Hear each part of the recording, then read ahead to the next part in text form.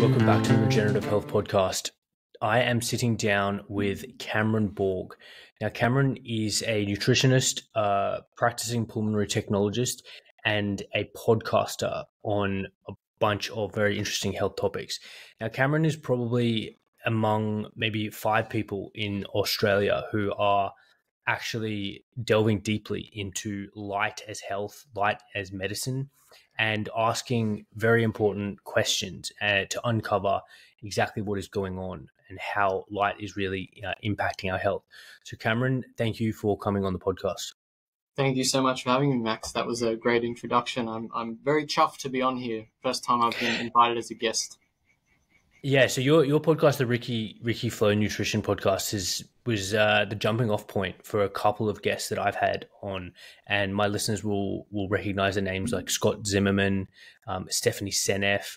So, and your you've you've really thought along very similar lines as I have, and uh, very much enjoyed those those discussions. But let's let's start with your uh, just a brief background. How do you arrived to investigating these type of more interesting, complex, and uh, unconventional health uh, path paths?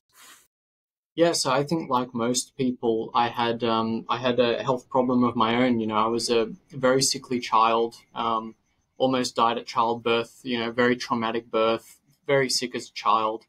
Um, and, you know, I had, you know, asthma, eczema, you know, you name it. I was, I was a very unhappy, unhappy baby and eventually grew out of it as a teen, you know, um, sort of to, started to level out a little bit more. Um, was never really super health conscious as most uh, teenagers, um, you know, tend to be. Um, and I, I just, I got tangled up uh, with a, a, staph infection that wouldn't go away, and um, you know, just spent thousands of dollars at specialists who just had no idea what to do.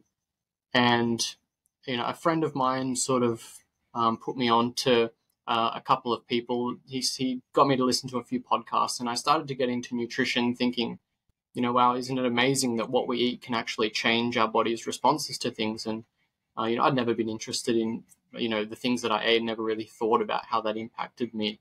Um, but the idea that it did was very exciting to me, and I ended up sort of sorting out all my my staph infection myself, um, and realizing that you know these specialists and doctors don't always know the best thing to do, and often eh, they're actually hamstrung by the fact that they they live in such a a small world uh, of ideas, and that really sort of opened opened the world of health up to me a little bit more. I got really passionate about nutrition. Um, this whole food first model, you know, food is everything. That was sort of the world that I was living in at the time. Uh, and I went to university. I studied nutrition. Uh, didn't learn a damn thing for three years, um, but got a certificate to say that somehow I'm I, I know more now, um, which you know was kind of funny to me. But about halfway through my my degree, I sort of cottoned on to these people talking about um, the different aspects of health and why food, you know, ranked quite low on, on the list of things that were most important.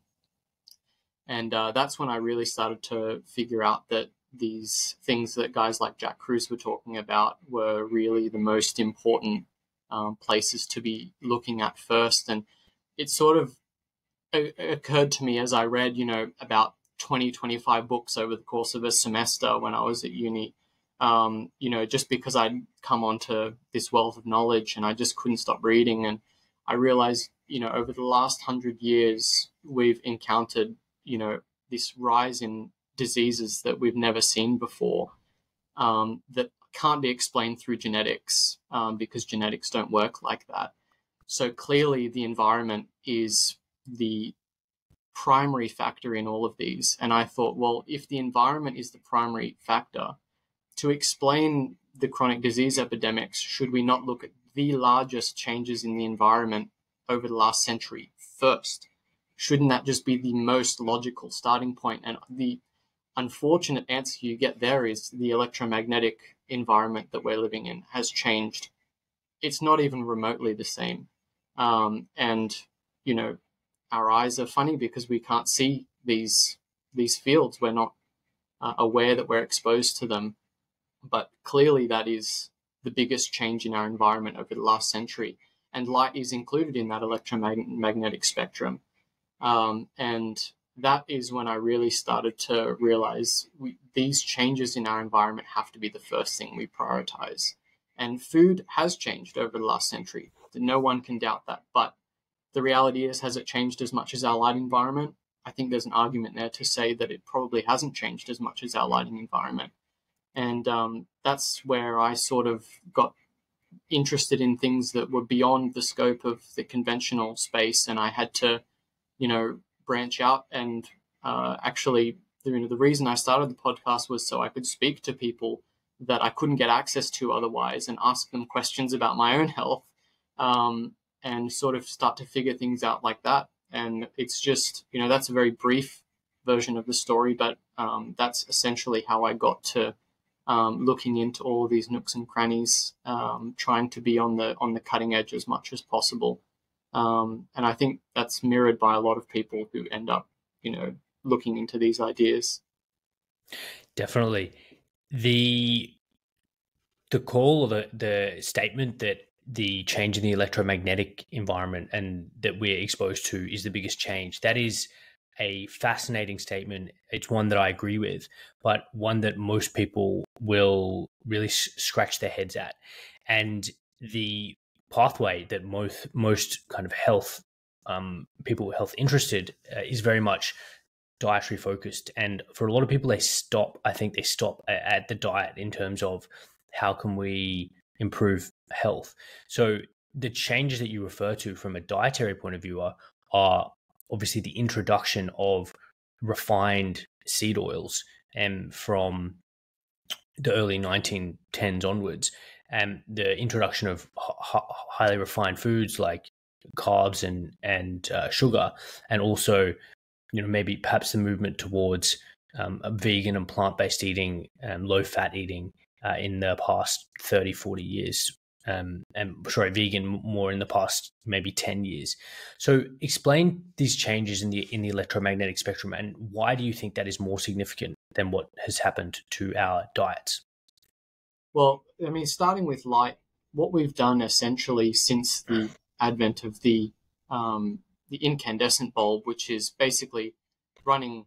I'm not a physicist or a, an electrical engineer, but bear with me. Basically, running a uh, current through a tungsten filament uh, at a high enough voltage so that it starts producing visible light. Now, to do that with a with a filament, you actually have to run quite a bit through it to actually get visible light to come out because tungsten filaments are really good at generating long wavelength light, um, near infrared and infrared, which we don't see. So it's basically useless if you want to use it for vision.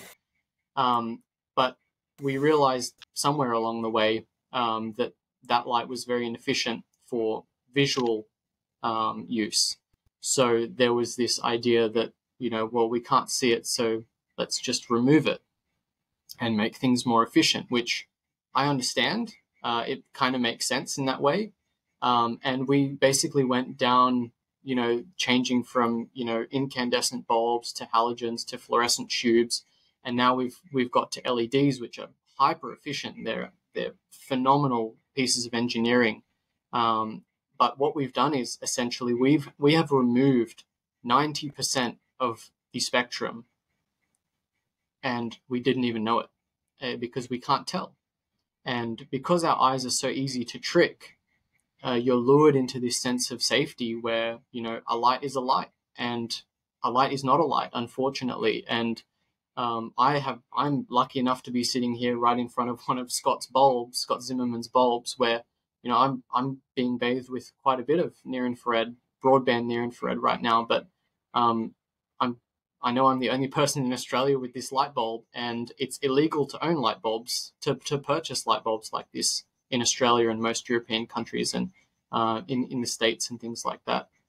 So light has fundamentally changed beyond recognition. It's just our eyes are not suited to understand that, um, and that's a huge problem. So um, you know, I've been reading quite a bit of Nick Lane recently, um, who is one of my favorite writers. And um, in his book, The Vital Question, he really pins down this idea that this endosymbiotic event, uh, the use of a, what we now call a mitochondria, which is these old purple bacteria um, going in inside of another single-celled organism, that endosymbiotic event is so important uh, in in what we are today, and fundamentally, our mitochondria are run by the influence of light, uh, and conversely, not only run by light but also run by the darkness. You know, you you can't take on um, light without thinking about the darkness as well, because they're both as important as one another. And you could think of that as uh, an enormous departure in our electromagnetic spectrum as well. We no longer have true darkness anymore. We no longer have night.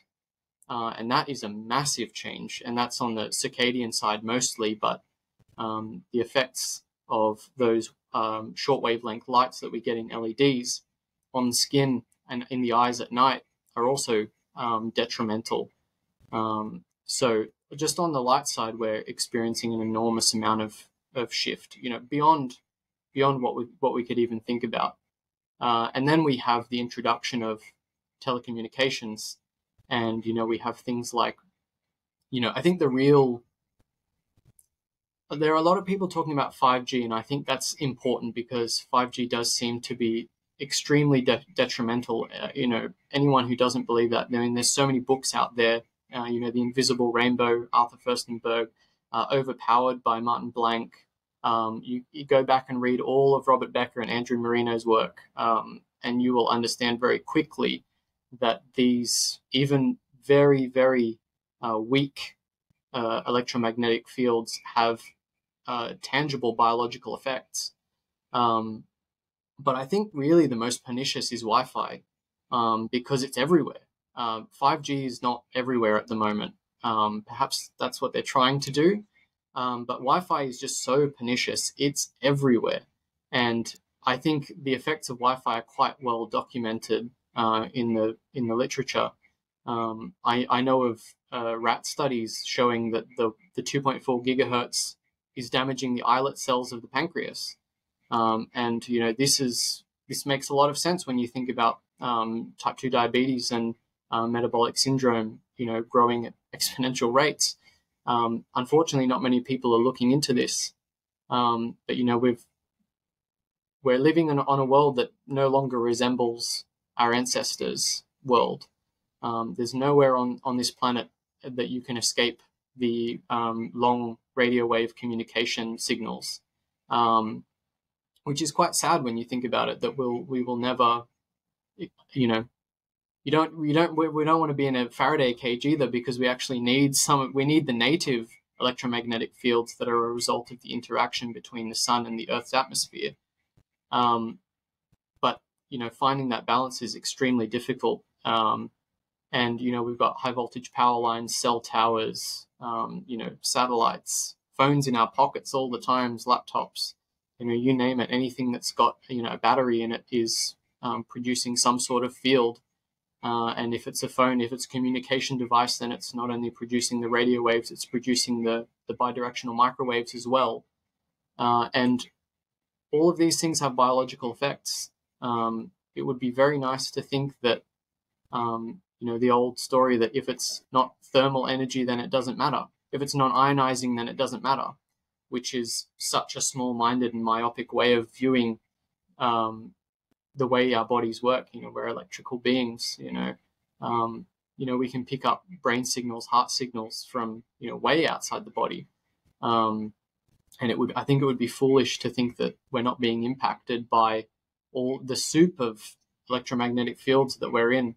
Um, unfortunately, you know, I do think that that's the biggest change, but it's it's also the one that's, I guess, arguably the most difficult to try and um, adjust and, and, and get as right as you possibly can um, because sometimes the answer is you know you have to you have to move you have to um, go somewhere else you have to change job you have to do these massive things and um, unfortunately most people uh, for right or for wrong aren't ready to make that step and that's completely understandable um, but it is important to acknowledge because it's quite easy to you know put the phone on airplane mode um, it's quite easy to switch everything off at night. you know, it's quite easy to go out to the box and put the kill switch and make sure you're sleeping with as little influence from these fields as possible. Um, so even though it's kind of like we'll never experience a world um, that is free of these non-native, these man-made electromagnetic fields, we can quite easily limit our exposure um, in our homes and in our workplaces. So I try not to be negative about these things because I do think we can make differences, and I think in some cases the the, the man-made electromagnetic fields are not as bad as some people say that they are, or at least I hope that that's the case.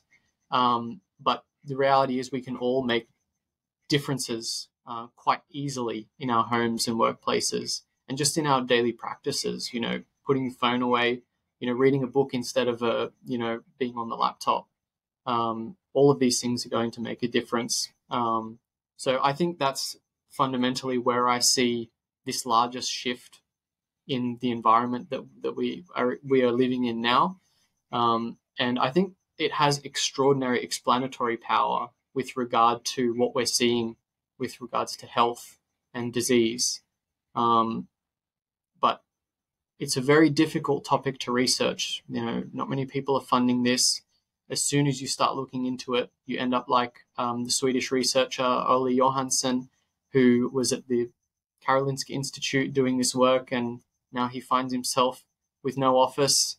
Um, I think he was called the biggest quack of the year a few years back in in Sweden um, you know, this guy's a, a, serious researcher who is calling for uh, change in the laws, predominantly to protect children because they are the most susceptible to these um, these waves. So, you know, we're in a, we're in a bit in a bit of a tough spot with regard to researching the effects of this part of our environment. But uh, I think more and more people are beginning to understand that you know keeping your phone in your in your bra or your or your front pocket you know there are there are pro- there are most definitely risks associated with that. Um, so I think I think it's not a hard sell to to go that far, but to go further with what we're saying, um, that's a little bit more of a difficult story to get across. Yeah, there's so much there, Cameron, and I have previously recorded with a bunch of guests who've, who've discussed this topic as well, and really um, Tristan Scott's episodes are, are very important and, and informative. The change that you mentioned particularly and, and i like to put a date or a approximate date on it to really help people to understand is the basically the late 1800s when um, electricity was essentially um, invented and the, the light bulb uh, the electricity wars happened and then eventually um, there was widespread use of, of electricity and previously that was when and we had the first of this non-visible, this visible light at night that didn't come from fire, that didn't come from from the moon, and that's kind of that. That's really the before and after, because prior to that time, prior to the invention of electricity, the electromagnetic spectrum that we all were bathed in was was natural. It was visible. It was sunlight during the day, including ultraviolet and, and infrared, and then um, basically not very little at, at night, and then you had these these Schumann resonance um, and and a couple of very very uh, very faint um, long range radio radio frequencies.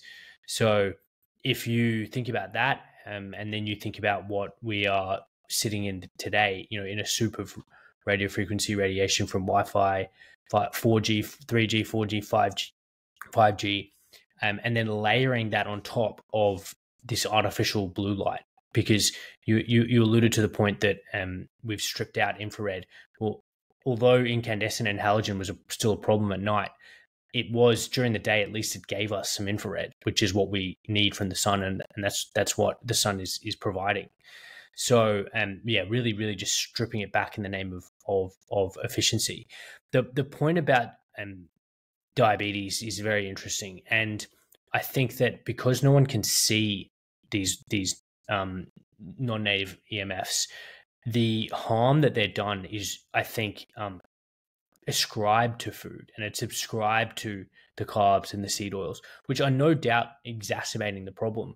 But the the fascinating implication is that perhaps it was the the light at night and the the Wi-Fi that was essentially setting up the metabolic ground or the the metabolic problem that the the food later exacerbates. And I think anyone who's worked a shift work or has had to stay up all night will tell you that they crave carbs um, and sweet things the next morning. So um, it's it's a it's a very interesting thought to think that it's really our environment environmental electromagnetic signature environment that's really setting the stage for um, what let the food later exacerbates.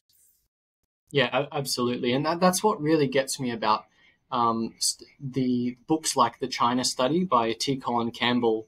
Um, you know, he talks about the the differences in cancer incidence between um, the people eating the most meat and the people eating the least meat uh, in China. And of course, the people eating the most meat were the ones living in the cities, and the ones eating the least amount of meat were in you know they were out in the in the rural areas, you know, with firelight at night.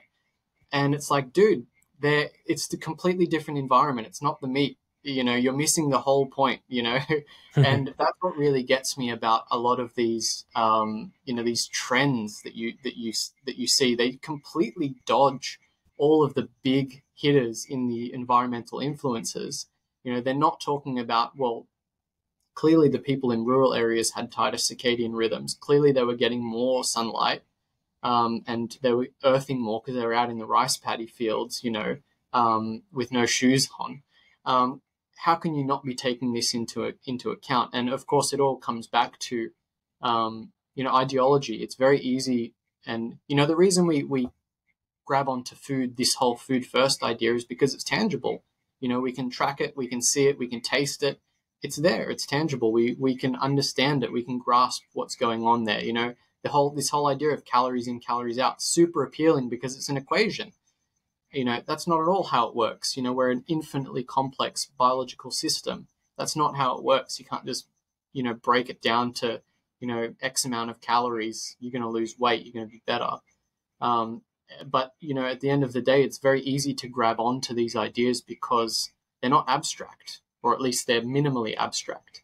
And I completely understand that because I fell for the same thing. You know, I was a I was a vegan for 18 months, um, and still recovering now. You know, this is like six six years down the road.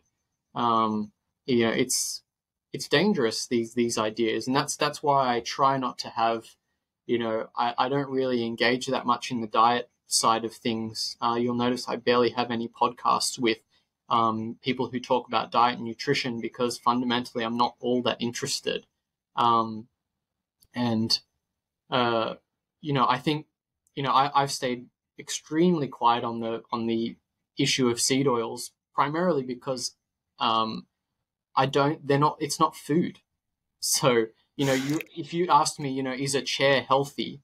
I'd say, well, it's not food, so it's a bad question. I see seed oils as the same thing you know, cottonseed oil, canola oil, it's not food. So I, it's not part of the, the conversation to me. Um, and, you know, you can find studies that show increased, uh, increased intake of omega-6 fatty acids relative to saturated fatty acids has, you know, better uh, health outcomes. You know, so what? Um, you know, no, none of the other environmental um, conditions are taken into are taken into account at all. So, you know, and that's that's part of just having a discerning eye when you're looking at these types of things. And I think that's one of the great powers of looking at health and and wellness and beyond in the way that we're sort of approaching it is because it's such a a broad and encompassing view that you you it's much more difficult to fall into bad patterns of thought when you're trying to encapsulate it into with everything else and trying to make it make sense with all of these environmental conditions you sort of fortify yourself against bad ideas and and ideology which is one of the reasons why it's been so appealing to me because I've just been burned too many times by you know crappy ideas that you know sound great on an Instagram reel or a TikTok but you know they simply it's just an it's just an ideology and uh, yeah, that's that's what I really like about looking at it this this way is because you think with logic instead of um, just being captured by ideas. Everything has to pass through the litmus test of well, does this make sense in the context of our evolutionary past? Does it make sense in the context of knowing how our cells work, you know, how a mitochondria drives a proton gradient. So much more difficult to have to be captured by bad ideas when uh, you're thinking about things at that level.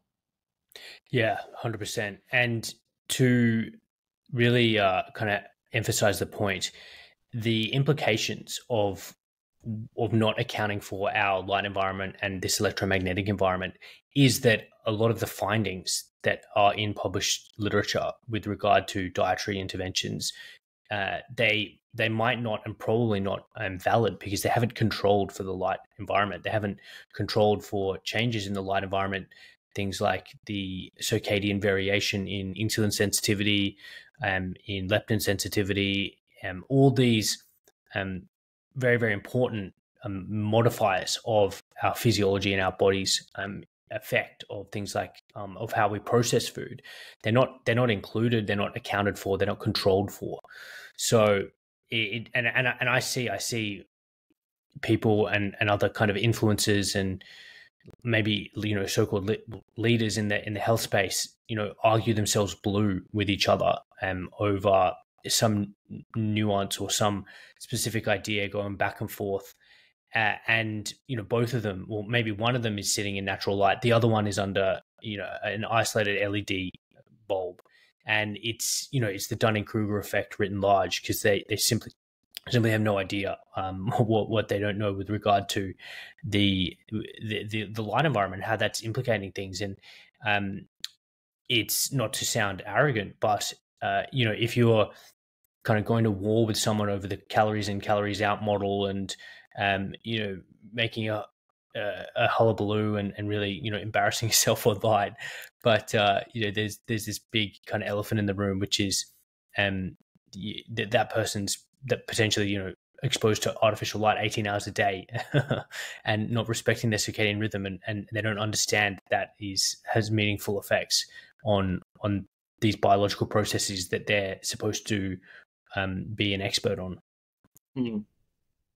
Yeah, I mean it's it's fascinating because you know you look at like the the Hadza in Tanzania, and you know they drink Coca Cola, and uh, you know every few weeks they'll get um, cornmeal dropped off, and they will they will stop hunting and gathering, and they'll just eat you know what's been dropped off.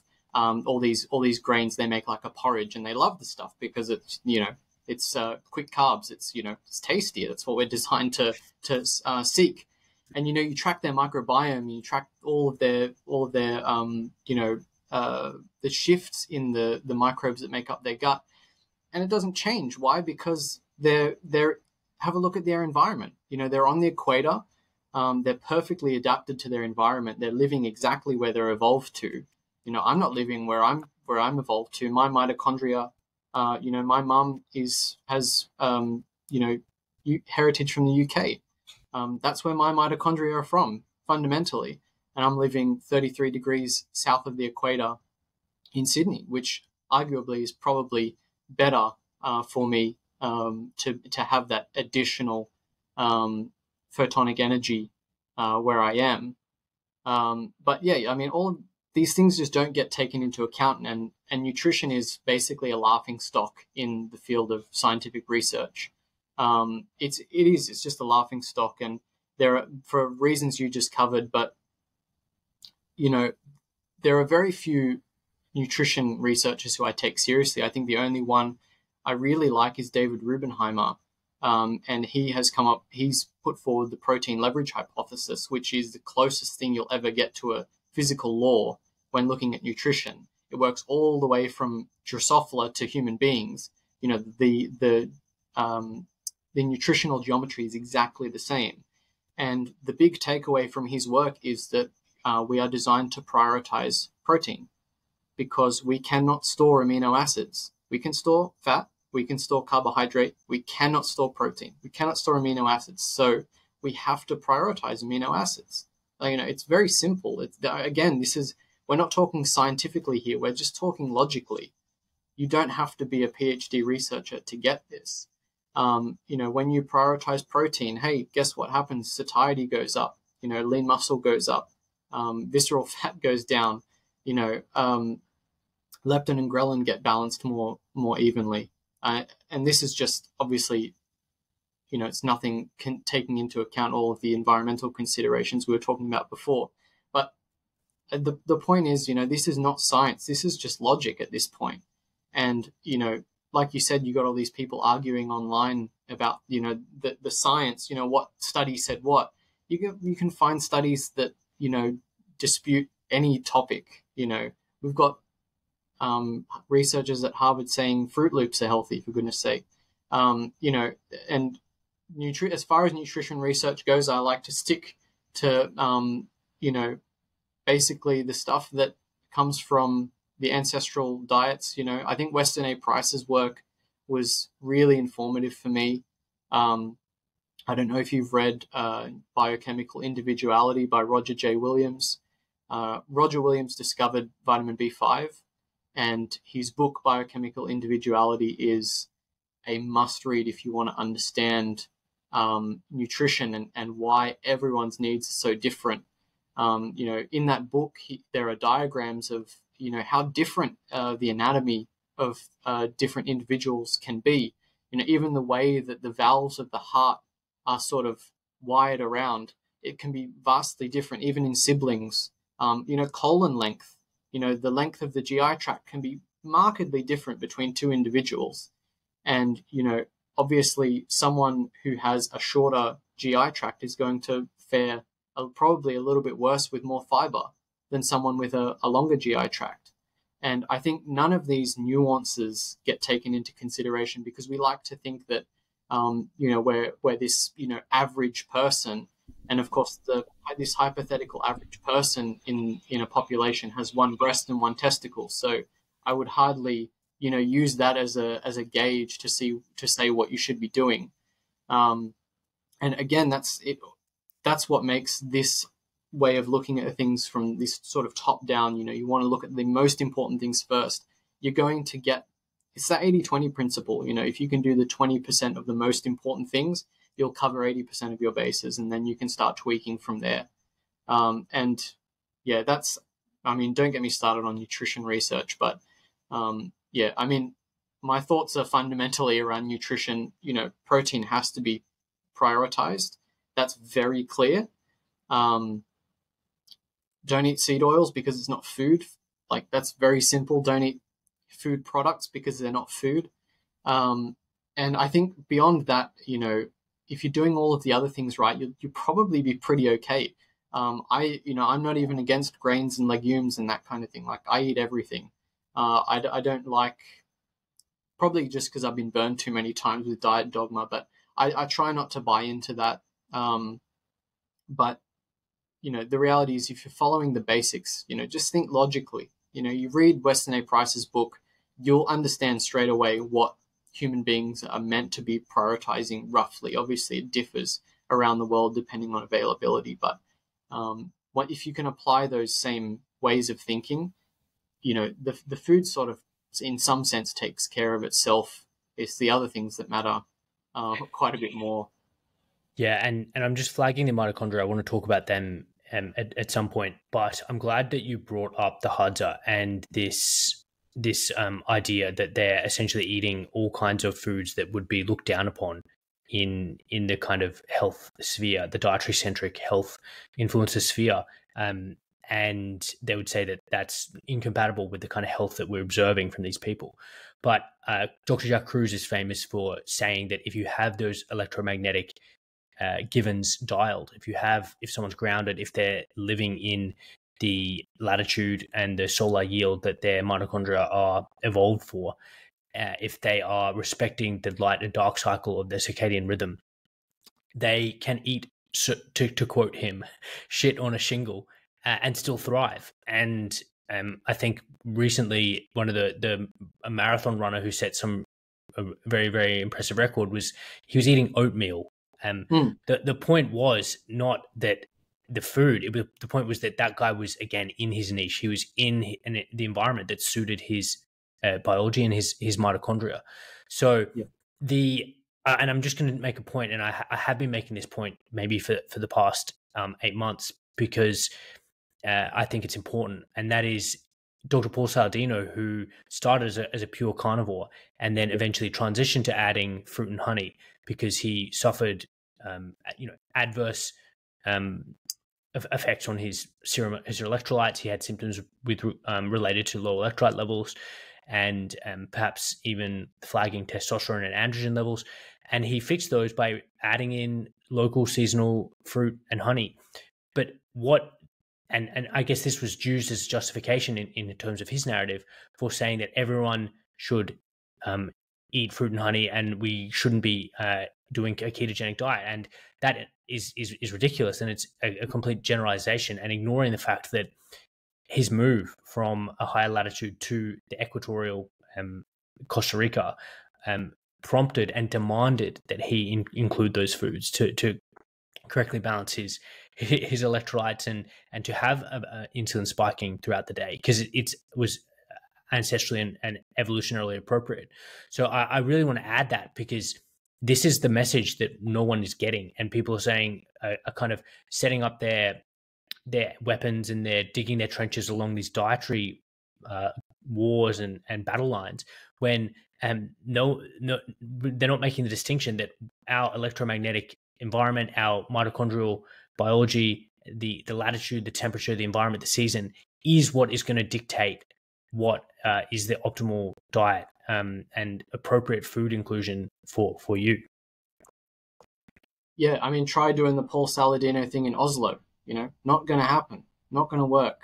Um, first of all, I mean, the weird thing is you can source all of those foods um, all throughout uh, those northern parts of the world, which is potentially something we could talk about. Um, but you know, I'll, I'll I'll just share briefly the thing that really broke, that really um, made me stop being a vegan, and I was I was pretty hardcore into it. Like I was hook, line, and sinker, and it was the the realization that you know you have a look at all these places over the world. The closer you are to the equator, generally speaking, the less saturated fat they're eating, and the further away you go, the more saturated fat they're eating. Like have a look at Italy. What are they? What uh, fat do they use in Sicily? You know, they use olive oil. What do they use in Rome? They use butter. What do they use in the north? It's called the lard belt. Have a look at India. All the vegetarians are at the south. The further up you go, you get ghee, and the further up you go, they start cooking with animal fat. You know, this it's built into their their religion and their culture there as well. Like they understood that the type of fats that you eat change the um, construction of the membranes of the cells. And why that's important, I, I would love to speak to people about um, why membrane fluidity is important and how it changes and why um, it has to change with uh, varying latitude. Um, but, you know, these cultures figured it out because they had to. If they didn't figure this out, they just would have died. If there was a vegan culture that came about, um, you know, in Finland, they would no longer exist because they couldn't do it. Um, so all of these things were meticulously figured out through evolution because it had to be by definition. And that's what I, as soon as I started to realize that this stuff is like nature decides. Nature decides. You know, we don't really, we have a say in it now because of our big fat brains, um, but that's not really helping us in any way. Um, and that was that was really the point where I had to sit back and go, "Wow, this this whole vegan story just does not make sense. It simply doesn't make sense." Um, and I I've been teaching a class um, to a group of you know twenty year olds about um, health and wellness, and I show them a picture uh, in Norway where they have the the annual cod harvest, and it's just tens of thousands of cod hung up to dry on these massive racks. And, you know, I use that as a point to say, like, nature decides what they did because without the cod, they didn't have enough UV radiation to synthesize vitamin D. There literally would be, be no cultures that far that far north without seafood. It, it could not happen. And this connection that they have, and of course at the time they probably didn't know exactly why they were doing that and why that was so important but they figured it out. And I think the fact that they figured it out but didn't know precisely why is actually probably a good thing because have a look at what we've done. I mean, back when rickets was a big problem, we knew it could be cured and prevented with cod liver oil. Now, we didn't know why, but we didn't need to know why. It worked. So we used it. And because, like I said, because of our big fat brain, we wanted to know more. We wanted to know precisely what it was. So instead, eventually, we, we figured out, you know, it was vitamin D that we, that was the anti-rachitic factor of the cod liver oil. So we isolated it, and then they give vitamin D. But of course, you know, we've we've missed the forest for the trees here. You know, the the cod liver oil itself had the complement of vitamin A in it as well, and DHA and EPA. So the I almost think you know our desire to know precisely what is going on at all time is actually of detriment to us because we miss we we zoom in too far and we can no longer even understand what it is that we're trying to figure out anymore. And I think that's why looking back at cultures that that knew but didn't know that they knew precisely. Um, I remember reading, um, I can't, I think it was um, Synchronicity by Carl Jung, and he wrote about his visit to an African tribe. And every morning, right before the sun comes up, they all get up and they spit into their hands and they put them out to the to the rising sun. And it, of course, it was a superstition that they had to they had to do that to make sure the sun would rise the next day. Otherwise, the sun would get angry at them. Now, I think they're a lot smarter than we are because they they somehow realized that that had to be ingrained in their culture for them to be uh, to to operate optimally, and the fact that we we know more than them in quotes, but don't get that right I think is a real sign that sometimes it's better to just know that it works, but not to ask specifically why, but just to trust that nature got it right. Because nature did get it right by definition. It's that cultural, cultural evolved practice, which I, I refer to often. And I think Weston yeah. Price had various uh, examples of that that he noticed in the Solomon Islands. They had rituals where the tribe would bang a drum at, at dawn, everyone would get up, everyone would would essentially been dancing and humming um, yeah. as they watched the sunrise. And and you can analyze it with this scientific lens that you and I are talking about, and they're grounded. They're um, getting morning circadian programming in their eye. They are humming. They are, you know, they're getting good activation of, of their um, you know pulmonary system. Everything that you, you know tick all the boxes of an ideal morning routine from health optimization blogger or, advice and they're, they're nailing. But the point is as you so eloquently said cameron is that they they worked that out. And there is I, I agree there's a certain intelligence of of getting to the right answer without knowing the, the details. And i think um, if you've ever read Nassim Taleb, he talks about Fat Tony, uh, and uh, Fat Tony is a, is a Brooklyn, New York character who um, has no formal school education, but um, he, you know, he's extremely successful because he's worked out through a process of of cultural Darwinism, um, the, the, the the way to thrive and, and to succeed. So I, I really think that the siloed um, approach of modern science and modern specialists really gets in the way. And, and you look at what people like Da Vinci achieved. Um, they were generalists. They, they were. He was a generalist. He was able to span these domains and therefore draw connections, see patterns that no one else was seeing. And look, you can look at um, someone like Dr. Jack Kruse, same thing. Um, the, the more, I think, uh, ability that we have to see across these and through these um, these individual specialties, the, the better we have. We're, we're, more likely to be able to see the whole elephant rather than just you know hold the trunk um, and and say that it's a tree, or hold the tail and say that it's um, that it's, it's a tree. I um I also wanted to get your thoughts, and, and I think you you really um, nailed it with with regard to that that description of of um, kind of access to food and what's local. And I've I've come to the personal thought, and, and maybe I'd get your thoughts on this that the reason why carnivore diet is seems to be so effective for people in in the modern age is because they're so disconnected from their this environmental and electromagnetic um, niche that we evolved in that um, and which and the circadian cycle is regulating things like gut permeability. It's regulating um, enterocyte or gut cell turnover.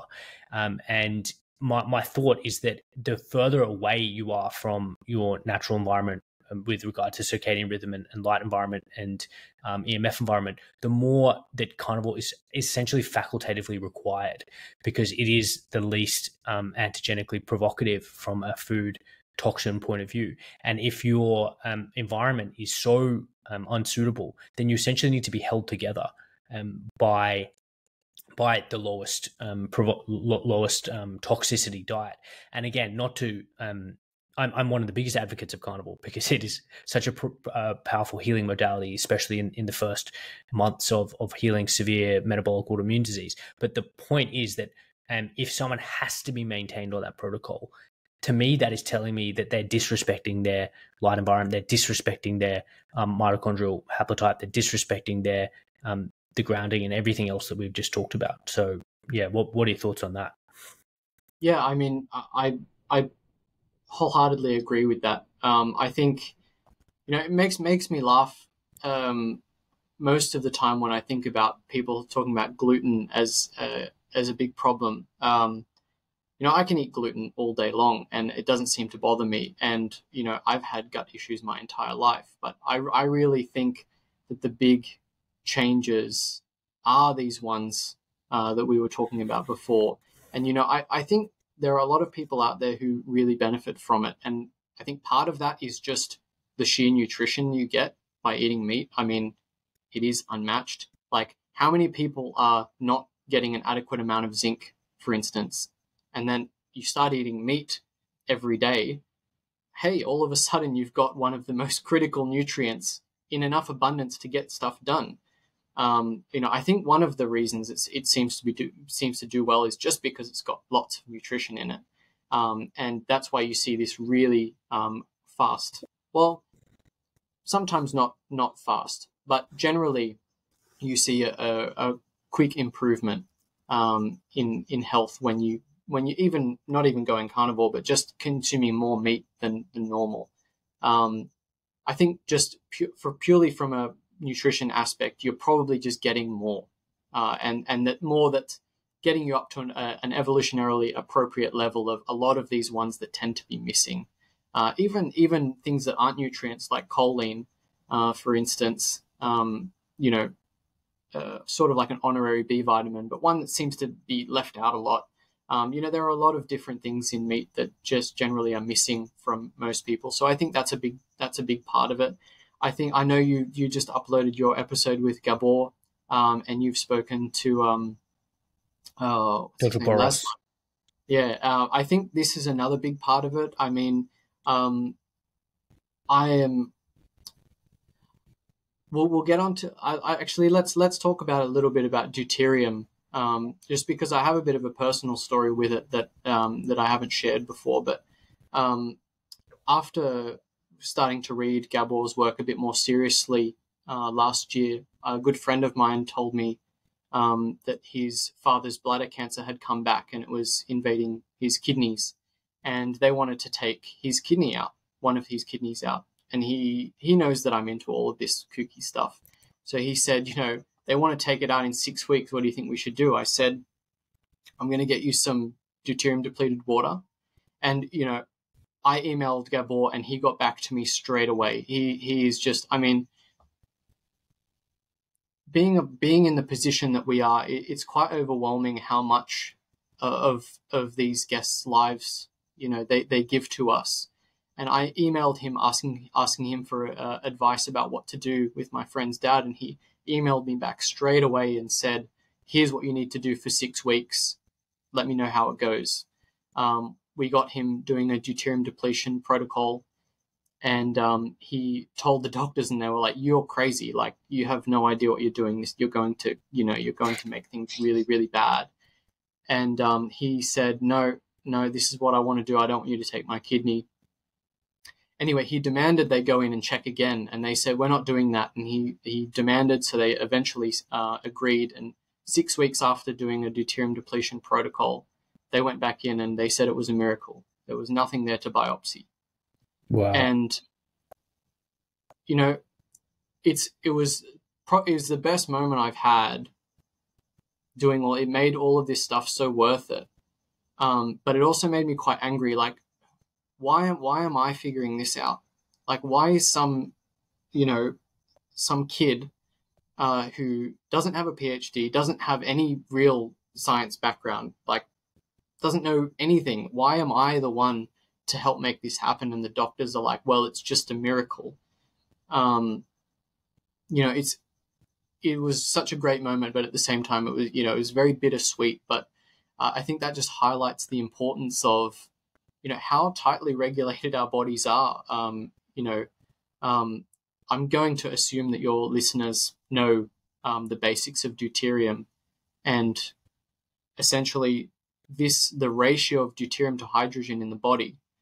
Uh, although it seems like it can't make that much of a difference, you know, you're thinking one in every 6,600 hydrogens is a deuterium. How can that possibly have an effect? But, you know, nature doesn't work in a linear fashion. You know, biology is not a linear machine. Um, and this deuterium factor is a really big problem because, you know, a Coca-Cola, Coca-Cola has like 200 parts per million, whereas the water here in Sydney is like 152 parts per million. Um, and, you know, carbohydrate foods concentrate more deuterium. And arguably, evolutionary diets were much lower in deuterium content um, than they are today. And I think that's one of the big benefits of eating more meat is not only are you bringing in fewer deuterium relative to hydrogen, you're also bringing in the enough building block in the form of particularly saturated fats, which we know produce more mitochondrial deuterium depleted matrix water. Uh, we've known this for, gee, probably like 80 years. I think I saw the paper in Nature from like 1940s. Um, you know, we've known this for a very long time that saturated fats make the mitochondria more hydrated. And not only that, it's hydrated in the best possible way because it's actually hydrogen. It's not D2O, it is hydrogen, which I, I don't even think we've scratched the surface of why deuterium is so important in biology. Um, and obviously, we need it. You know, we, we can't grow without it. It's very important, but keeping it in the right ratio, um, you know, I've I've become much more convinced that that's you know a really really critically important part um, of of this story that we're telling because I think it fundamentally connects back to the light story because just like there's a latitude gradient with UV light, there's a latitude gradient with deuterium on the planet. So, um, and I don't think this has been proved. I'd love to know, but um, I I suspect uh, it seems logical to me that um, the light that's present on the equator helps balance the elevated deuterium content of their food and drink. Um, so, I mean, it makes sense to me that the more sunlight that you're getting, the more you're giving your body the opportunity to balance that DH ratio. And I think that's super, super important because it's at it is at the foundational level. I mean, you can't really get more foundational than protons, neutrons, and electrons. Um, and that is fundamentally what the body is built on. Um, so I think that's another big reason of, of why these low carb ish diets tend to really do well. Um, but you know, I do I do have concerns with uh, diets that are that are purely meat, and I think just from a logical point of view, uh, you have to watch things like potassium, magnesium, and calcium. Um, you know, they're all important, and you know they they can be difficult to get in in the in the right quantities. And of course, you're taking you have to take into the account that um, into account that you know you're not living in an, in an environment that your ancestors did, and you know sometimes and, and like you said, this is this is probably exactly why Paul made his shift, um, and did it quite discreetly as well, uh, if if I'm correct. Uh, um, which I think happens a lot in the health space. People not telling um, their audience that they're not doing well and just pretending that it's all fine on the outside. Um, but yeah, I think that that's another thing to consider. And you know i worry about people who you know can't have a tomato without getting a reaction. Like clearly that's clearly something's going wrong there. And you know ideally what you'd be able to do is you'd be able to eat you know all sorts of things and not have reactions to it. I understand that there are people out there who you know that's that's going to be a much longer journey. But um, i think it speaks to the fact that you know maybe there's something deeper going on that needs to be addressed if you can't have an eggplant or you can't, you know, have a piece of sourdough bread. Perhaps there's something a bit deeper going on. And, you know, touching on the gluten thing again, it makes me laugh because I, I suspect gluten is one of a countless number of things that modulate intestinal permeability. Um, you know, like one of my favorite papers um, talks about how we basically know less than 1% of the molecules that are in food. Like we just don't know what, what all these molecules do. Um, and it, it seems absolutely ridiculous to me to think that gluten is the only one that does that sort of thing with the intestines, uh, with with those gap junctions, you know, uh, modulating intestinal permeability. I suspect all foods do that to some degree in different ways, and we just don't understand why that is or the consequences of that. Yeah, and, and and my personal opinion is that when it comes to gluten, and this is what mutual guest Dr. Stephanie Seneff has talked about to both of us, is that it's probably the glyphosate and the glyphosate contamination of these foods that is really acting as a force multiplier to inhibit and and your um, intestinal permeability and uh, disrupt the gut microbiome and that's kind of really making a, a, massive difference. But the again to emphasize, it's it's really a healing protocol that I that I think is the the biggest reason why everyone benefits on carnivore, and I, I really treat it like that. I think it's a it's a therapeutic tr- um, healing protocol, but um, we want to get people back to a state where they don't fall in a heap if they eat, um, as you said, a piece of you know yep. fermented food, or they they eat yep. a you know a piece of not not encouraging it, but as you rightly said, there should be a reason why we should be able to tolerate a little bit of something else. While it's not optimal um, it shouldn't um, send us to you know in bed for two days which is what exactly. it sounds like it does to to a lot of people. So being held together mm. with sticky tape and bubble gum. I'm so glad you brought up deuterium and i really agree. I think the benefit of low carbon carnivore is the fact that it's it's a deuterium depleted diet um, uh, probably number one. And second it's providing that uh, surplus of micronutrients that you talked about, and really this idea that people are coasting on a, a subclinical or or in some cases clinical, but mostly subclinical um, micronutrient deficiency, and they've got they're having rate limiting um, enzymatic steps in their body that are not being met when they simply don't have the correct B vitamin, trace mineral, whatever it is. So simply putting someone on a, on a very very high meat, meat diet, you you're filling in all those gaps so that there's no deficiencies that are essentially um, slowing down the system on a rate limiting point of view. The the interesting anecdote that you shared about your friend's father. I suspect that they would have re-imaged him and found that the the primary or whatever the, the tumor they were looking at had shrunken.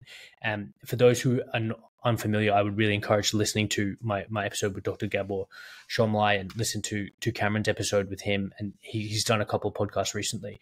But um, the, the fascinating implication is that reducing the, the concentration of deuterium in the body with a deuterium depleted water, water protocol is and is something you can do in addition to. It doesn't replace um, a standard oncological uh, therapy, and I really want to emphasize that point. No one's advocating. I will.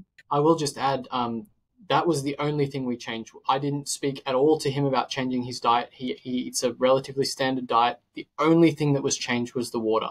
That's it. Interesting. And in, and that was the progress that was made. So imagine what you could do by you know really maxing out um, you know living living as circadian friendly as possible, getting getting all the light that you need. We know that extends lifespan even with people who have terminal cancer.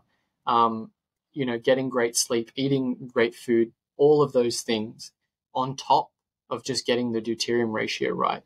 Yeah, um, and, and and let's talk about that because it comes down to mitochondria. And in my episode with Thomas Seeger, he described people who are having um, their progression of their various cancers was basically slowed down by by a practice of, of regular ice bathing. So what I think um, it would be difficult for someone to make sense of this unless they are putting the mitochondria at the center of their disease model, which is what um, you're advocating for and I'm advocating for. And suddenly it all makes it starts to make sense. And uh, the hypothesis, or in science, we have hypotheses, we try and disprove them with you know observed findings. But um, you, the strength of your hypothesis is how well it can explain the observed phenomena. And uh, if you can put all these pieces together and realize that you can heal people, or you can reverse cancer or slow cancer progression with fasting, with sunlight exposure, with a, a low deuterium diet and, and water, um, with cold exposure. And you can explain that because it, they're all optimizing mitochondrial function, and we know that cancer is is a mitochondrial problem at its at its core. So maybe talk about mitochondria as you as you think about them um, and, and uh, how it's relevant to what we've just mentioned. Yeah, so I mean, mitochondria are this absolutely fascinating thing. Um, probably the the event, the endosymbiotic event, probably likely only took place once. It is that unlikely, and you know there are people out there who suggest that there will there in the entire universe there's a chance that life like us doesn't exist because that that chance of a uh, an archaea swallowing uh, an old purple bacteria and then and then them able to live symbiotically and reproduce that event is so statistically unlikely that it probably only ever happened once and that is where all multicellular life came from. You know it's it is phenomenal to think about that in endosymbiotic event is the most important thing that happened in in uh, life on this planet because every multicellular organism came from that event. And if you, if interestingly, if you took all of the melanin, all of the heme, all of the pigment out of the body, we would be purple. We would glow purple because our mitochondria are old purple bacteria, and we would glow purple. And we do glow purple. Uh, it's just we can't see it because it's so faint, and we have all of these other pigments on us as well.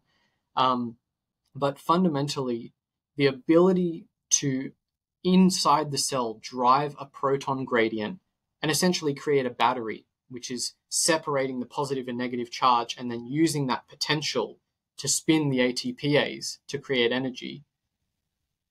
There's arguments to say that that's not how energy is created, but bear with me. I'll stick with I'll stick with ATP is the energy currency, and we can maybe flesh that out later. But that that ability to drive a proton gradient allowed uh, life to depart those deep um, sulfurous hydrothermal vents, where the hydrothermal vent was actually an analog of what we have in the mitochondria now. It the those vents drove a proton gradient and allowed those life forms to basically have an external mitochondria. The fact that we have them in every single cell except our red blood cells, as far as I'm aware, there's always an exception. But the fact that we have those um, in every single one of our cells, and it is the, the defining factor of multicellular life. It's the defining factor. You, you can't move past that. Uh, like I said before, that should be the first thing we focus on because it is what sets us apart. And the mitochondria are fundamentally receptive to the things in our environment. Uh, I think they're very receptive to non native electromagnetic fields they're certainly very receptive to light. And I think uh, a lot of that is coming from near infrared light interacting with cytochrome C, which is where water is made. It's kind of weird to think about that too. Um, mitochondria make water. I think if you went around on the street and you said to people, "Do do human cells make water? Do they make H2O?" People would say, "Well, no, that's ridiculous. We have to drink water." But of course, we do generate H2O, and we do that at cytochrome C, which is this uh, part of the respiratory complex that seems to interact quite strongly with the wavelengths of light that are in the red and near infrared. And that is what's helping to drive that proton gradient, uh, which is why red light therapy seems to do so well for almost any condition that it's used on. Um, I think the fact that red light therapy seems to um, benefit the function of mitochondria is just a sign that we are no longer living in enough natural sunlight to satisfy our need. And much like someone with a complete zinc deficiency would benefit from a zinc supplement, someone with an absolute red and near infrared deficiency benefits from a, red light panel. I think it's just a symptom of the fact that we're not living uh, in the sun enough. I'm not saying red light therapy is bad. I think it can be really, really useful. But I, what I'm what I'm saying is that it seems to just be a sign that uh, this, it's a symptom of us living indoors. The same way that um, high vitamin D is a proxy marker for living outdoors, and that's why it seems to be so. Uh, that's why it correlates so well with better health outcomes. Whereas when you give vitamin D supplements, you don't see those health outcomes. I think it's the same thing here with the red light. The reason it's making the mitochondria work really well is because they are begging for it. They're saying, please let me out in the sun all day because I need it. I've, I've evolved outside all day. I need the near infrared all day. And when you're inside all day, you're fundamentally gasping for that because the mitochondria aren't flicking over. They're not driving that proton gradient. And over time, as we age, as the heteroplasmy of the mitochondria increases, which is essentially saying that the mitochondria gradually look less and less like mitochondria. Um, they, they sort of lose their form and they become leaky. And I think there's a very good argument to be had that aging is a, a direct consequence of leaky mitochondria. You know, forget leaky gut, leaky mitochondria is the big problem. Um, and I think the the light story with mitochondria is fundamentally connected to that. Um, but also, mitochondria are filled with water. And if you have a look, I mean, this is why I love Bob Fosbury's work so much. Have a look at the water absorption bands. You know, you have all of these really high peaks of absorption in water in the infrared range, not so much in the near infrared, but beyond the near infrared into the infrared. That's when you see water is the primary chromophore of the body. It's the primary light absorber of the body. And these long wavelengths, I suspect, are doing crazy things to the hydrogen bonding networks in water. They are creating coherent domains and changing the structure of water um, and making it do work essentially. Um, I don't know if you've read um, Gerald Pollack's book, Cells, Gels, and the Engines of Life. No, I haven't read that one. So everyone talks about um, the fourth phase of water, which is a phenomenal book. But to me, Cells, Gels, and the Engines of Life is the best. It's way better than the fourth phase of water because what it explains is how our bodies basically shift the structure of water from bulk water, H2O, to this crystalline water to actually do work. And there's great diagrams in there explaining how things like mitosis the protein filaments that do the cytokinesis in mitosis are fundamentally driven by where the the charge is on the water around the proteins themselves. So the body's ability to shift between bulk and structured water is super important because that's what's doing the work. That's what's creating these pro- protein folding because at every site of a protein, it's completely surrounded by water. And depending on what the charge is on that water depending on what the charges are around that um, protein molecule, it folds differently. And I think that's where a lot of people get a bit tripped up, in my view, with the whole water story is that they think everything needs to be structured all the time. And I think what it is, is the body needs to be able to shift between different crystalline structures, different bond angles. And that goes back to Mae-Wan Ho's work, which is a little bit above my head when I was trying to go through her work, because she's very hardcore, and that book was very difficult to read. But I think the bond angles, the structure in the water itself, and being able to shift between those two is actually what's more important than just having structured water, structured water, structured water all the time. And I think what is shifting the water in the mitochondria and in the cytosol and all the way through the extracellular matrix and the ground substance is everything from you know the DC current that's running through the body to the electromagnetic fields that we're exposed to, to the light that we're exposed to. And I think that's shifting the water in the mitochondria and doing lots of different things that we would consider, you know, work done in the cell. Um, I think a lot of it's done by the water's capacity to shift and do all of these different things. It's like a shapeshifter. And it's where it ends up is dependent on all of these other um, uh, environmental influences. And that's really where I think life sort of coalesces is this interaction between water and light. You know, and that's what we see in the mitochondria. The mitochondria makes light, makes water, and it accepts light to do so. Um, and maybe that's a bit oversimplified, but those are just some of the things that were running through my head Um, I don't often get the chance to ramble about mitochondria, um, but yeah, you can see how passionate I am about them. Yeah, it's it's a great description, Cameron. Anyone who's followed my work and has listened to my Jack Kruse series um, would hear what Jack said was very very similar to what you've described. It's essentially the same idea in in said differently.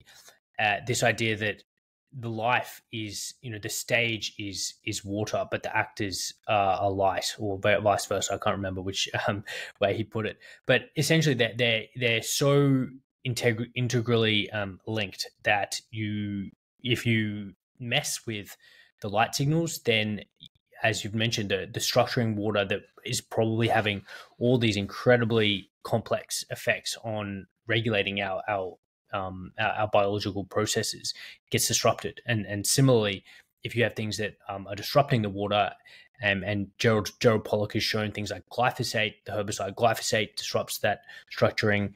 Um, absence of of infrared light from the sun um, is going to interfere with that. Anything that disrupts mitochondrial function and prevents them from making water is also going to disrupt that. Then then people get sick. So it's it is really so fascinating because we're taking it down a level. We are analyzing and um, health on on such a more fundamental level than um, you know what, what, what unique nutrients are in this organ meat. Again, not saying that that's not important, but um, this is so much more um, fundamental. It, it links, and you mentioned um, Professor Robert Fosbury, and he is has been doing a lot of work on light, especially with regard to mitochondria and, and infrared light. But Scott Zimmerman, who you mentioned as well, is is a very very interesting researcher who is doing the same, um, talking about the same similar things. Both of those are have really shown us and emphasized how important infrared light is for melatonin production in, in in the mitochondria, and this idea that it's the the if you think of the, about the mitochondria as an engine, the coolant is the is the melatonin, which is mopping up all these reactive oxygen species that get generated as as a function of the mitochondria's normal action. But the red light um, uh, and the infrared light is like the the lubrication, and that's helping the ATPase spin. So when you taking this all the way back to the beginning of the conversation, when you change the reality of our existence which was outdoors the whole time during 12 hours of daylight if you're on the equator. Um, if you put that person or put someone inside under an artificial blue LED, you are removing one of the most critical nutrient light nutrients which i like to call it which is in, infrared light and and you know we can blame that on on on food but it's so obviously um, a deficiency of um, of a nutrient that is non it's it's a non-visible um, you know wavelength of ele- electromagnetic uh, radiation.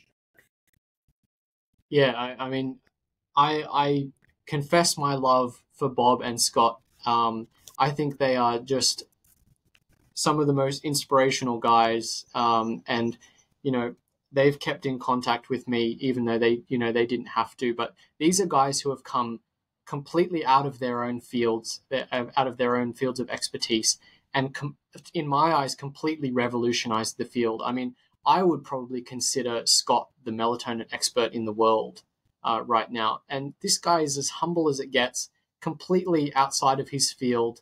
Um, and ha- same with Stephanie Seneff. I mean, she's a computer scientist for goodness sake, and she's the leading. Uh, she she's really carrying the torch of um, with probably people like Carey Gillam um, of Rachel Carson. You know, uh, I just finished reading Silent Spring. Um, you know, so glyphosate, unbelievable. Glyphosate toxicity. Yeah, yeah, yeah. Yeah, like all of these guys have come way outside their field, and they stress the importance of interdisciplinarity. Um, you know, like I remember Bob speaking to me about him going and um, he's an honorary professor with Glen Jeffery in his lab at um, University College London, and you know Glen you know, t- tussling with this idea of, you know, why does 670 nanometers work? You know, why is 670 nanometer red light? Um, why does it seem to be so important? And, and Bob says, well, you know, that's the wavelength that plants photosynthesize at. And Glen goes, well, no, I didn't know that. And, you know, him explaining all of these phenomena, these for that only an astrophysicist would know, help make sense of how the retina works And Scott, coming from an optics engineering um, point of view, having a look at the the folds of the brain, saying, "Well, that's a light trap." Like I know that any day of the week, that's a light trap. You know, that's designed to funnel near infrared light deep, deep, deep within the body. It's completely obvious. Now, a biologist is not going to pick up on that stuff. And that's why it's so, so important that, you know, we, we encourage people outside of their field to, you know, start thinking about these ideas because the breakthroughs that those guys have had, and, you know, I feel super blessed that I've sort of introduced them and now they're working together um, I hope they publish a paper together so I can say I sort of played a role in that. Um, but you know, these guys are doing incredible work. Um, you know, and uh, Glen and Bob figured out how a reindeer's eyes work. Um, you know, in in the in the Arctic, when the blue is so intense that it should basically completely fry the eye, um, they figured out why it doesn't and only a combination of an astrophysicist and, an, and a professor of ophthalmology could have figured that out. And um, the implications of the things that they are discovering, and this is not published, but Bob has said that they are looking into the idea that near infrared light is helping the mitochondria overcome kinetic barriers in um, in generating that proton gradient. Now we have to remember that it is it is an evolutionary given that we are exposed to near infrared light all day long. It's a given. That is that's the bare minimum. So it stands to reason that our body would have said, uh, evolutionarily, our biology would have said, well, that energy, that photonic energy is there all day. So we might as well use it to make this kinetic reaction easier. And then, of course, as soon as you take it away, the mitochondrial function suffers immediately because what is a given is no longer there. And I think that's what's so scary when you think about it is that, you know, even if we are outside all day, that's the bare minimum. Like that, that is reaching our evolutionary bare minimum. That's not like, oh, look at me, I'm so healthy. You've just reached, you know, a normal level. You haven't excelled. You know, that's just the reality of what we're supposed to be exposed to. And regardless of where you are on uh, on the planet, uh, that near infrared is coming through, rain, hail, or shine. That's the beautiful thing about water is that it's not a strong absorber of near infrared like it is infrared. So all these clouds up above, all the water in the atmosphere, the near infrared just funnels its way down and it hits the earth. It might go back up and come back down, but the near infrared is always there no matter where you are. So even if you're like me and my skin can't tolerate um, a, a, a, full summer's day outside, I, I will burn. It'll be a little bit too much for me. But I still need to be outside because I still need the near infrared. I don't have to be directly in the sun, but I need to be sitting in the shade, absorbing all the near infrared because that is the evolutionary given. That is the bare minimum. And I'll be the first to admit I don't reach that bare minimum because, you know, fundamentally I'm I live indoors, I work indoors, uh, I'm outside as much as I can possibly be. Um, but that's an important thing to remember is that that is a bare minimum. That is what our body expects. That is what the mitochondria expects to happen. Uh, is this chronic exposure? Yeah, great, great explanation, Cameron. And the problem that Scott is trying to solve, which I think is this next frontier, is how to get near infrared back into indoor environments. And his work with making bulbs that emit a near infrared band, a broad near infrared band, at the same time as being reasonably energy efficient to comply with uh, this myopic government policy that uh, is admirable. But it's a problem that's going to need to be solved by multiple people. And I'm in, in discussion with uh, some you know engineers to think about how, whether we can design things like uh, a photobiomodulation panel with multiple near infrared and red wavelengths to to basically help people put it in indoor office environments for people who can't set up outside or can't set up in front of a window to, to really get this um, infrared light back in. But let, let, us pivot and let, let's let's finish this conversation on, on on the sun because it is a topic of interest of, of both of us and the reason why it's so important is because narratives from uh, that are, are, quite old, but particularly um, emphasize um, in the past maybe 20, 30 years, is that the sun is is harmful, and I think the maybe the the culprit entity behind that is the dermat the dermatology profession, and I'll say that um, because this episode will have aired after I've released my conversation with Professor Richard Weller, and um, before someone you know attacks me for attacking the dermatology prof- profession, I'm not going to say anything that um, the esteemed Professor Weller hasn't already said, uh, which is that the dermatologists have been misguided in terms of essentially recommending everyone stay in, inside a cave, to quote him, and take vitamin D pills. Uh, based on the fact that not only do we need this infrared light for being outside, we actually also need uh, UV and we do need um, these balanced wavelengths of, of visible light too. So, so talk about your thoughts about the sun, about tanning, and about maybe the narrative shift that has to change in order for us to uh, get this critical light nutrient back into people's lives. Yeah, I'll just finish um, my thought from the previous question about melatonin. Sure. Um, the reason melatonin is going up when you're exposed to long wavelength light, particularly in the near infrared, is because the mitochondria are working better. And when the mitochondria work better, they're producing more reactive oxygens. That's just the byproduct of more efficient mitochondrial function.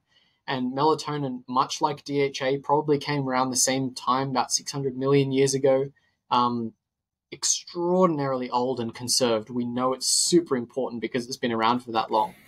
Incredible, probably the best antioxidant able to sap up um, reactive oxygen species better than most things because um, unlike vitamin C, where it can take one um, one free radical and then it itself becomes a free radical, the ascorbyl radical, melatonin, uh, the molecule that is made after it scavenges one, is also an antioxidant, and then it's it's the one that scavenges after that is also an antioxidant. So it is an extremely strong thing. But I think again, it's just it's just a proxy marker for better mitochondrial function.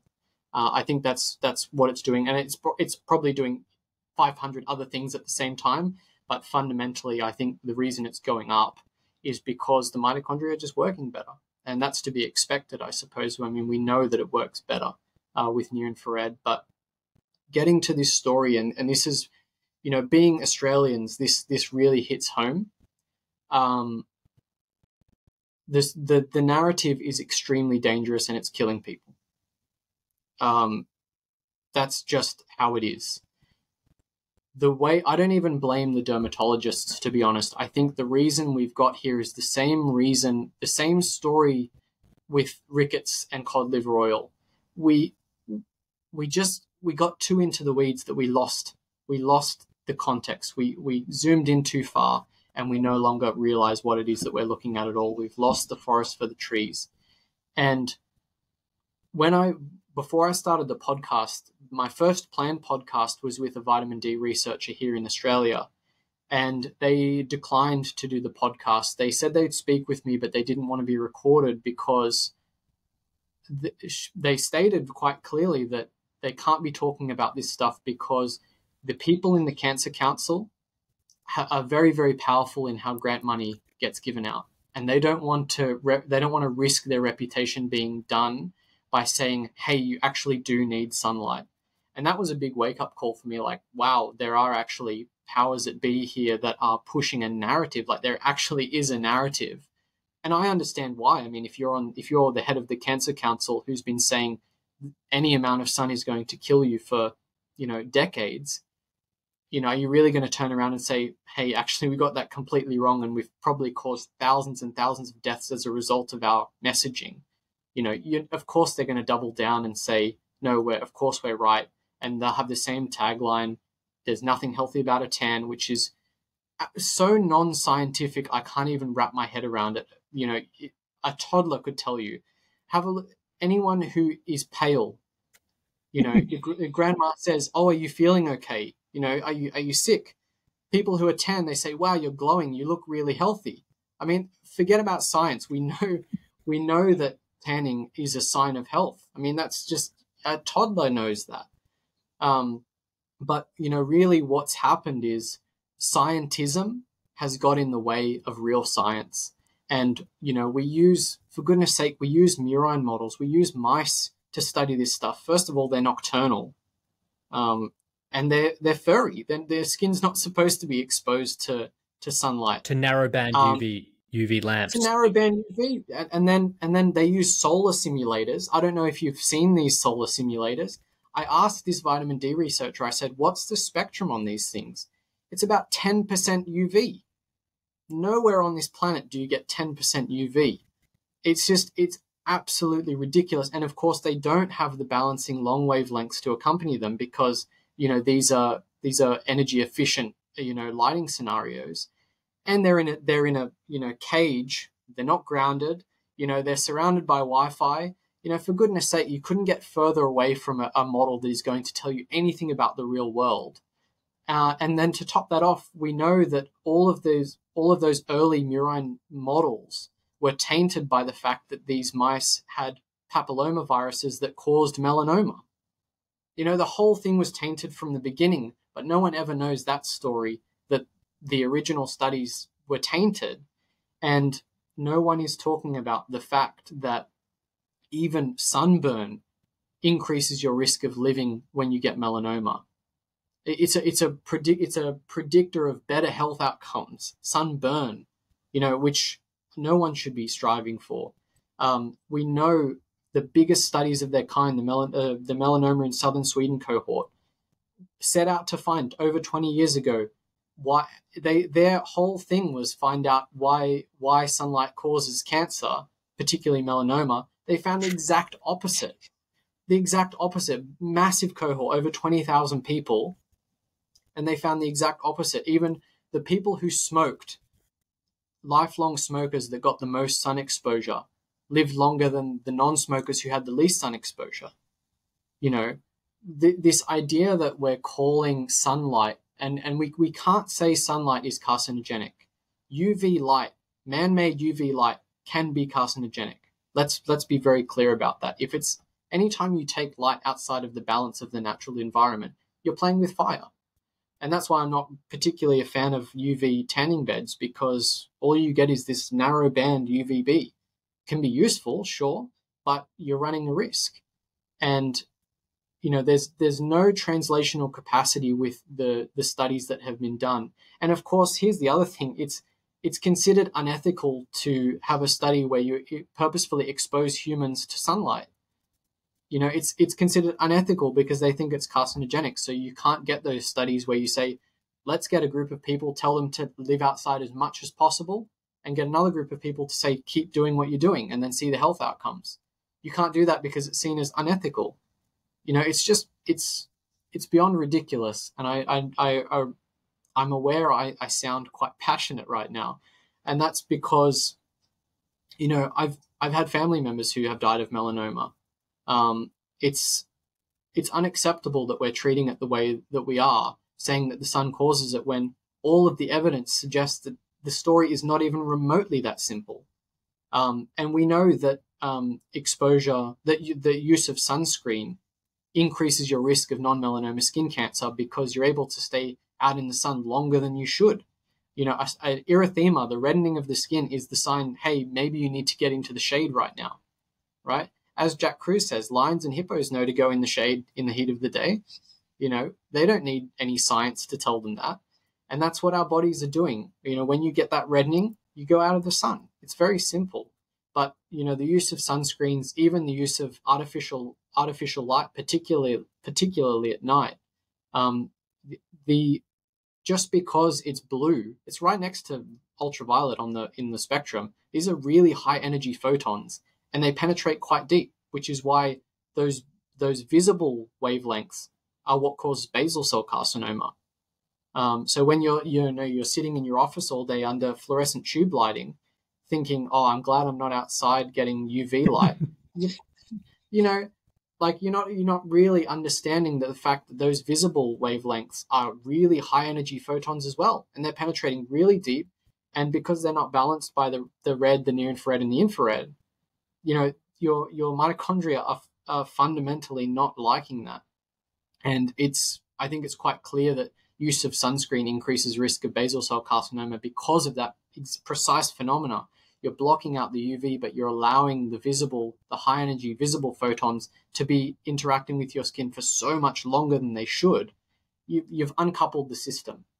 And I think as soon as we can get studies where the system is coupled and you get people exposed to sunlight naturally and not artificial light, then we can start to make inferences. But this idea that the sun is toxic or harmful for your health really has to be turned around. And I think, um, I think that's uh, probably my big mission with what I'm doing is to help people understand that light really matters and that sunlight is our birthright and being able to live. I mean, we all know it feels good, you know. Um, it's it's giving us, like Jack says, the complete compounding pharmacy. It's the whole thing. It has every wavelength in it that we need. Um, and I, yeah, it, it upsets me quite a bit to see this narrative, um, particularly when there is so much evidence to the contrary. There's so much evidence to the contrary. It's almost unbelievable. And it's it's going to take a long time to turn the ship around, but I think young people are going to start to realize, well, hang on, we've never lived more away from the influence of sun in our entire evolutionary past, yet we've never had more melanoma and non-melanoma skin cancer. Make that make sense for me, because it doesn't make sense at all. Um, you know, and I'd love to speak to dermatologists. I mean, um, I sent you that article about the Australians of the Year who, you know, pale as all get out, um, talking about why you should never go out in the sun because they're melanoma researchers. It's very upsetting that that we bestow awards upon people like this who are, in in my view, and I, I suspect yours, probably harming people with that advice. Um, I will I will uh, contain my diatribe to there because I could go on forever because it's something I'm very passionate about and people really need to get a grasp on. I, I share your passion because in terms of what we're trying to convey with the health benefits of light, natural sunlight, the UV sun causes melanoma and you know avoid the sun because of those reasons is the biggest obstacle in terms of getting people out and into an environment which they can begin to reap these benefits of of healthy sunlight. That that's why I respect the work of um, Professor Weller with his UK Biobank study and and Pelle Lindqvist with his melanoma in southern Sweden study because those are large long longitudinal population based yes observational studies but they showed that unequivocally that the more sun someone gets the more ultraviolet light someone gets the lower their all cause mortality the lower their cancer mortality the lower their cardiovascular mortality. So we're really trading off. The the, mel- the melanoma researching kind of um, apparatus and the anti-sun messaging narrative is really making a risk versus benefit trade-off on behalf of the population that um, your cardiovascular mortality doesn't matter. Your total cancer mortality doesn't matter. Instead, what we think matters is your prevention of melanoma. Yet they're not even correct on that on that for the reasons that you've just talked about. So this is, um, you know, grand scale um, harm of people because the fact of the matter is that more people are dying from cardiovascular disease, more people are dying from bowel cancer and breast cancer, um, lung cancer, than they're that they're dying from from from melanoma.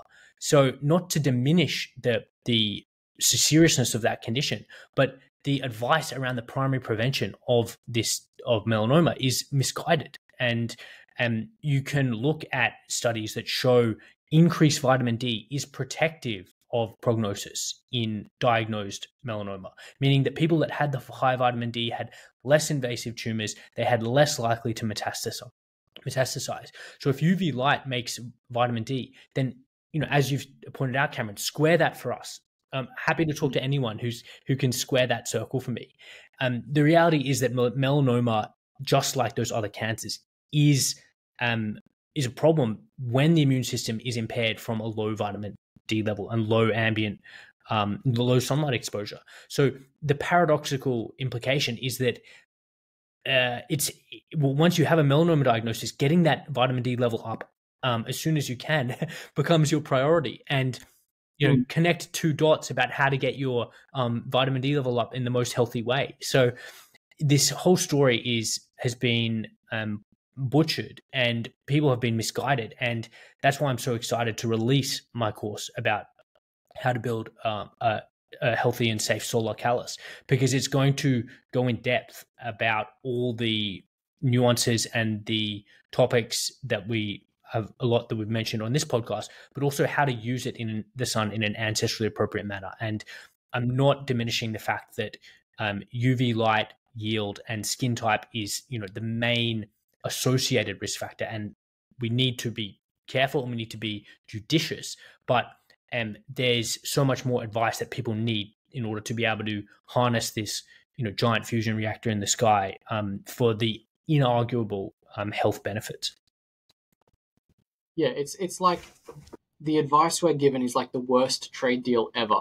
It's like you receive, you get increased risk of basically every single disease, and you get protection from perhaps the skin cancers that don't metastasize. Like that's it. uh, it's the worst trade deal ever. Um, it's the worst thing you could possibly imagine. Um, but just the way that the way that it's messaged is is has become so ingrained. It's and so powerful.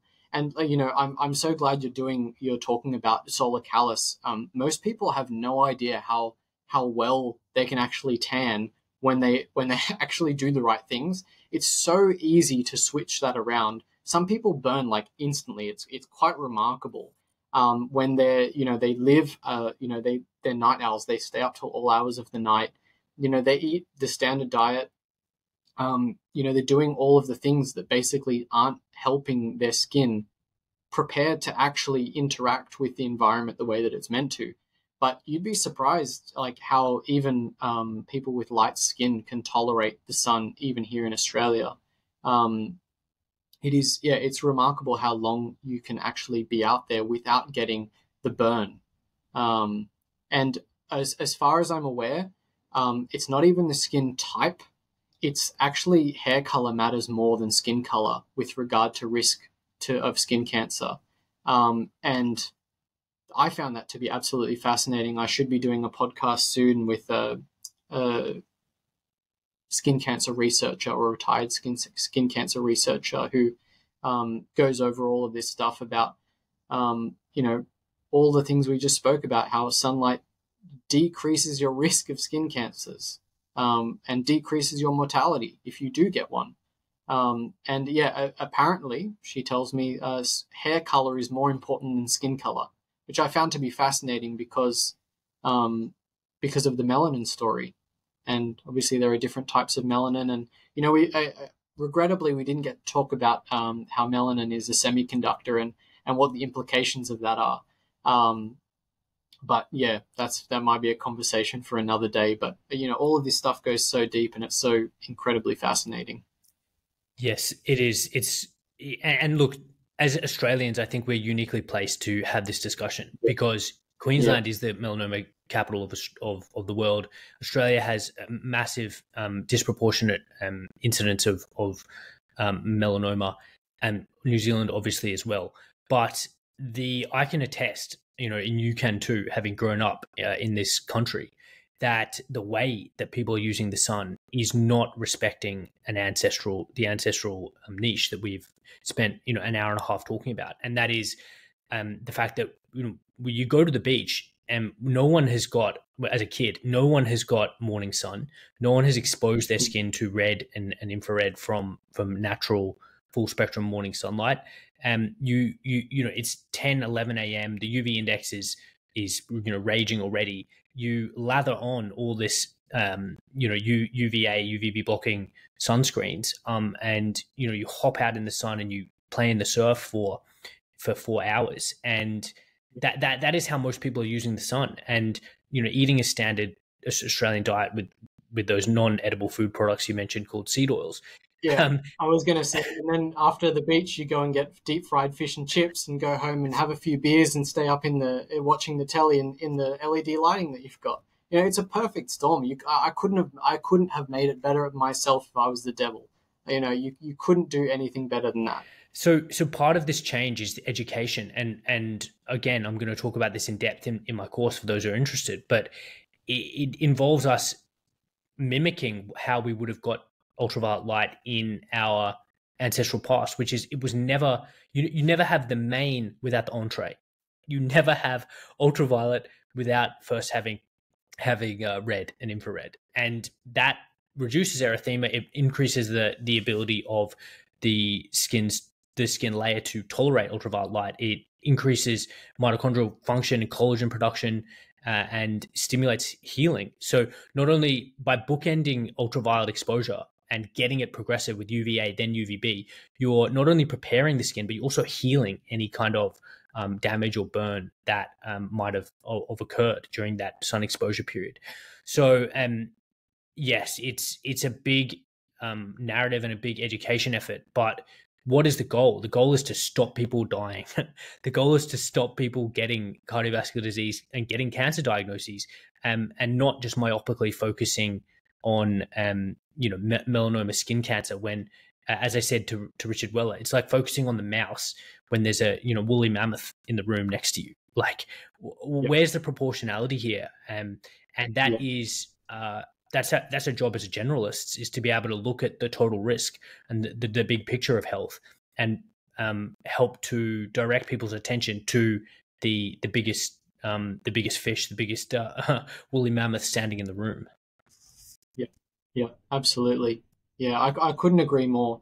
And um, I, you know, to me, I think the goal. I set the goal. I set the bar even lower. Um, I, I think if we can just turn the narrative around you know, some people are not going to listen even provided with the information. Uh, I think as long as people are informed adequately and there isn't a nefarious narrative spreading um, ideas that are fundamentally wrong and dangerous, um, you know, people will do with that what they need. Um, and I just, I just think it's important that in the culture that we have here, it is acknowledged that sunlight is important and not toxic not just a priori toxic. Um, if we can get that far, I'll, I'll be I'll be uh, you know over the moon about just that. Not even saving lives just yet, but you know that will come down the track. Yeah, amazing. Well, Cameron, it's been a, fascinating conversation. Thanks for for the discussion. We've covered a, a very very wide range of topics, and uh, it's, it's thoroughly enjoyable. So I will encourage everyone who's listening to check out Cameron's podcast, um, the Ricci Flow Nutrition Podcast, um, and his amazing previous episodes. A lot of whom I've I've interviewed as, as well. So, um, Cameron, how can people connect with you? How can they find out what you're doing? And um, let us know any final parting thoughts um, that you have. Yeah, so the, I, I encourage people to start with the podcast. It's sort of my baby. Um, it's not not nearly as popular as yours, but uh, it's growing slowly. Um, and uh, yeah, I, am hoping this year I'm going to speak to a lot of uh, a lot of very interesting people um, about the types of things that we spoke about today. Um, I'm on social media. Instagram is probably what I'm what I'm using most, um, and I have a website that has um, you know some ideas about reading material and and things like that. Um, and yeah, that's probably the best place to to find me and to reach out if you if you need to contact me at all. Um, but yeah, probably just the podcast. If you can, um, yeah, if you can listen to that, that would be that would be fantastic. Great. Um, yeah, and I just want to say thank you for inviting me on. It's uh, quite a pleasure to be on the uh, interviewee side of things. Um, makes me feel very special. Yeah, awesome, mate. All right, we'll uh, we'll talk soon, and yeah, thanks again. No worries. Thank you, Max.